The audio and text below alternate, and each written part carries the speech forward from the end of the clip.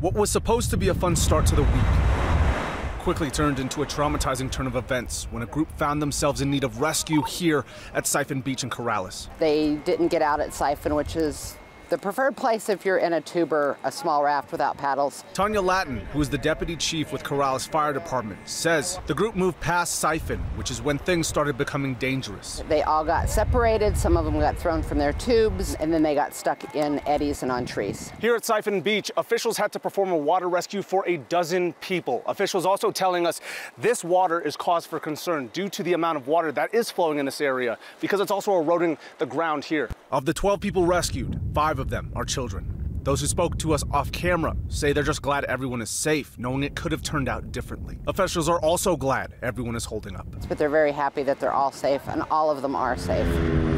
In addition to Corrales Fire Department, Bernalillo, Rio Rancho, Sandoval County, and Albuquerque helping, making this rescue possible. Lattin telling KOAT the collective effort of all agencies on scene should not be overlooked. Moving forward, she advises anyone taking on these waters to consider the reality of how rough these waters can be. It's not a place to go in tubes, it's not a place to go without paddles, and it's definitely not a place to go if you don't know what you're doing on the river. I'm Julian Padas, KOAT, Action 7 News.